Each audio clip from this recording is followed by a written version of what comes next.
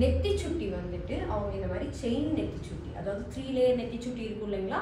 அதை வாங்கக்கூடாது. அவங்க வாங்க வேண்டிய நெத்தி சுட்டி எந்த மாதிரி இருக்கணும்னா ஒரு பெண்டன்ட் டாலர் நெத்தி சுட்டி மட்டும்தான் வாங்கணும். அதுவும் சின்ன டாலர் தான் வாங்கணும். நல்லா இவ்வளோ பெரிய டாலர் வாங்கிட்டாங்கன்னா ஃபேஸில் அந்த நெத்தி சுட்டி மட்டும்தான் பெருசாக தெரியும். பிகாஸ் அவங்க ஃபோர்ஹெட் எப்படி இருக்குது சின்னதாக இருக்குது ஓகேங்களா ஃபோர் ஹெட் சின்னதாக இருக்கிறது தப்பு கிடையாது.